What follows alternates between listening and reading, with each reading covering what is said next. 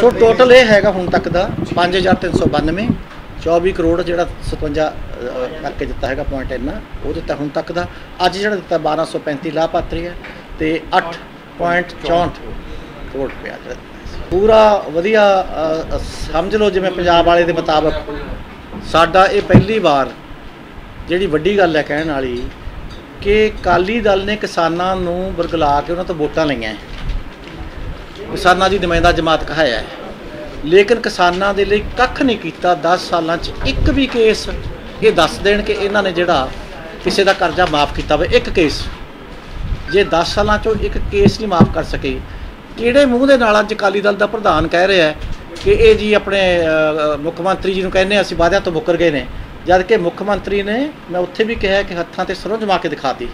ਜੋ ਕੰਮ ਅਕਾਲੀਆਂ ਤੋਂ 10 ਸਾਲ 'ਚ ਨਹੀਂ ਹੋਇਆ 10 ਮਹੀਨਿਆਂ 'ਚ ਕਰਕੇ ਦਿਖਾਤਾ।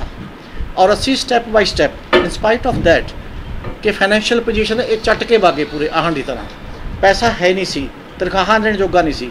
ਇਹਨਾਂ ਨੇ ਜਾਣਬੁੱਝ ਕੇ ਖਰਾਬ, ਖਰਾਬੀ ਕੀਤਾ, ਕਰ- ਕਾਰਪੋਰੇਸ਼ਨ ਖਾ ਕੇ। ਉਹਦੇ ਬਾਵਜੂਦ ਦਿਸ ਇਜ਼ ਅ ਮਿਰੇਕਲ ਕਿ ਅਸੀਂ ਪਹਿਲੇ 10 ਮਹੀਨਿਆਂ 'ਚ ਹੀ ਇੰਨੇ ਕਰੋੜ ਰੁਪਇਆ, ਇੰਨੇ 100 ਕਰੋੜ ਰੁਪਇਆ ਅਸੀਂ ਲੋਕਾਂ ਦਾ ਮਾਫ ਕਰਿਆ, ਕੀਤਾ ਹੋਵੇ। ਹੁਣ ਅਸੀਂ ਲਿਆ 2 2 ਲੱਖ ਦਾ ਕਰਾਇਆ 2.5 ਲੱਖ ਦੇ ਦਾ। ਇਸ ਤੋਂ ਬਾਅਦ ਸਾਡਾ 5 ਏਕੜ ਵਾਲੇ ਦਾ ਜਾਣਾ ਹੈਗਾ। ਫਿਰ ਜਿਸ ਤਰ੍ਹਾਂ ਜਿਸ ਤਰ੍ਹਾਂ ਸਾਡੀ ਸੁਵਿਧਾ ਵੱਧਦੀ ਜਾਣੀ ਹੈ, ਅਸੀਂ ਇਸ ਨੂੰ ਆਪਣੇ ਵਾਅਦੇ ਨੂੰ ਪੂਰਾ ਕਰਾਂਗੇ ਤੇ ਅਸੀਂ ਖੜੇ ਹਾਂ। ਸੋ ਇਹ ਇੱਕ ਰਿਕਾਰਡ ਦੀ ਗੱਲ, ਇੱਕ ਤਾਂ ਇਹ ਹੈ ਜਿਹੜਾ ਪ੍ਰੈਕਟੀਕਲੀ ਦੇ ਕੇ ਦਿਖਾਇਆ ਹੈ।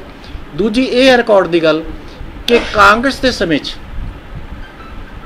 ਦਿੱਲੀ ਦੇ ਵਿੱਚ, ਮਨਮੋਹਨ ਸਿੰਘ ਦੀ ਸਰਕਾਰ ਦੇ ਸਮੇਂ, ਬੋਲਦੀ ਨੇ ਵੀ ਮੈਂ ਕਿਹਾ ਉੱਥੇ, ਉਸ ਵੇਲੇ ਪਹਿਲੀ ਵਾਰ ਹਿੰਦੁਸਤਾਨ ਦੇ ਸਾਰੇ ਜਿਹੜੇ ਕਰਜ਼ੇ ਮਾਫ ਹੁੰਦੇ ਸੀ, ਪੰਜਾਬ ਉਹ ਸ਼ਾਮਲ ਨਹੀਂ ਸੀ ਹੁੰਦਾ।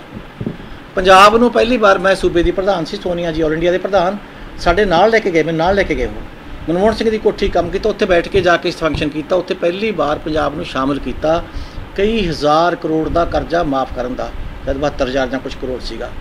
ਉਹ ਪਿਆ ਰਿਹਾ ਖਾਤੇ 'ਚ ਪਿਆ ਰਿਹਾ, ਹਰਿਆਣਾ ਲੈ ਆਇਆ, ਰਾਜਸਥਾਨ ਲੈ ਆਇਆ। ਇਹ ਕਾਲੀ ਦਲ ਵਾਲੇ ਲੈ ਕੇ ਨਹੀਂ ਆਏ ਕਿ ਸਾਡੇ ਖਜ਼ਾਨੇ 'ਚ ਪਾਓ। ਅਸੂਲ ਇਹ ਸੀ ਸਾਰਿਆਂ ਥਾਵਾਂ ਮੰਨਦੇ ਕਿ ਤੁਸੀਂ ਸਾਨੂੰ ਦੇ ਦਿਓ ਕਿਹੜੇ ਕੋਆਪਰੇਟਿਵ ਬੈਂਕ 'ਚ ਖਾਤੇ ਖਾਤੇ ਪਏ ਇਹਨਾਂ ਦੇ ਖਾਤੇ ਕਿੱਥੇ, ਅਸੀਂ ਸਾਰਾ ਪੈਸਾ ਉੱਥੇ ਭੇਜ ਦਿੰਨੇ ਆ ਸੈਂਟਰਲ ਅਸੀਂ ਜਿਹੜਾ ਕੋਆਪਰੇਟਿਵ ਉੱਥੇ ਭੇਜ ਦਿੰਨੇ ਆ ਦੂਜਾ ਕੋਈ ਹੋਰ ਗੁਰਦਾਰਾ ਦੇ ਦਿਓ, ਇਹ ਕਹਿੰਦੇ ਸਾਡੇ ਖਜ਼ਾਨੇ 'ਚ ਪਾਓ। ਇਹਨਾਂ ਨੇ ਮਾਫ ਕਰਾਇਆ ਵਾ, ਕਾਂਗਰਸੀ ਸਮੇਂ ਦਾ ਕਰਜ਼ਾ ਵੀ ਵੰਡਿਆ ਨਹੀਂ। ਔਰ ਇਹਨਾਂ ਦੀ ਦਿੱਲੀ ਦੀ ਸਰਕਾਰ ਨੇ, ਮੋਦੀ ਸਰਕਾਰ ਹੋਵੇ, ਚਾਹੇ ਉਹ ਪਹਿਲਾਂ ਵਾਜਪਾਈ ਸਰਕਾਰ ਸੀ, ਕਿਸੇ ਨੇ ਅੱਜ ਤੱਕ ਕਰਜ਼ੇ ਨੂੰ ਮਾਫ ਨਹੀਂ ਕੀਤਾ। ਅੱਜ ਮੋਦੀ ਨੂੰ ਕਹਿ ਕਹਿ ਗੇੜੇ ਕਰ ਕਰ ਅਸੀਂ ਮਾਰ ਮਾਰ ਥੱਕ ਗਏ ਮੋਦੀ ਨੇ ਇੱਕ ਨਵਾਂ ਪੈਸਾ ਸਾਨੂੰ ਮਾਫ ਕਰਨ ਲਈ ਨਹੀਂ ਕਿਹਾ। ਆ ਸਾਡੀ ਪੰਜਾਬ ਸਰਕਾਰ ਨੇ ਦਿਸ ਇਸ ਲਈ ਮੈਂ ਕਹਿ ਰਹੀ ਕਿ ਦਿਸ ਇਜ਼ ਅ ਮਿਰੇਕਲ ਇਹ ਵੱਡਾ ਕੰਮ ਇੱਥੇ ਹੋਇਆ ਪੰਜਾਬ ਦੀ ਧਰਤੀ ਤੇ ਹੋਇਆ ਔਰ ਅਸੀਂ ਪੂਰਾ ਕਰਕੇ ਦਿਖਾਇਆ ਹੈ। ਮੈਂ ਪੰਜਾਬ ਸਰਕਾਰ ਦਾ ਬਹੁਤ ਜ਼ਿਆਦਾ ਧੰਨਵਾਦ ਕਰਨਾ ਚਾਹੁੰਦਾ। ਜਿਨੇ ਪੰਜਾਬ ਦੀ ਕਿਸਾਨੀ ਨੂੰ ਬਚਾਉਣ ਵਾਸਤੇ ਇੱਕ ਉਪਰਾਲਾ ਕੀਤਾ ਹੈ 2 ਲੱਖ ਤੱਕ ਦਾ ਕਰਜ਼ਾ ਮਾਫ ਕਰਨ ਦਾ, ਅਸੀਂ ਪੰਜਾਬ ਸਰਕਾਰ ਦਾ ਬਹੁਤ ਬਹੁਤ ਧੰਨਵਾਦ ਕਰਦੇ ਹਾਂ। ਮੇਰੇ ਪਿੰਡ ਦੇ ਪਹਿਲੀ ਲਿਸਟ ਦੇ ਵਿੱਚ 19 ਕਿਸਾਨਾਂ ਦਾ ਕਰਜ਼ਾ ਮਾਫ ਹੋਇਆ ਹੈ ਤੇ ਅਗਲੀ ਲਿਸਟਾਂ ਦੇ ਵਿੱਚ ਹੋਰ ਹੁੰਦਾ ਜਾਊਗਾ। ਜਿਹਦਾ ਜਿਹਦਾ ਕਰਜ਼ਾ ਮਾਫ ਹੋ ਗਿਆ ਤਾਂ ਸੰਤੁਸ਼ਟ ਨੇ ਤੇ ਬਾਕੀ ਨੂੰ ਆਸ ਹੈ ਵੀ ਸਾਡਾ ਹੋ ਜਾਊਗਾ।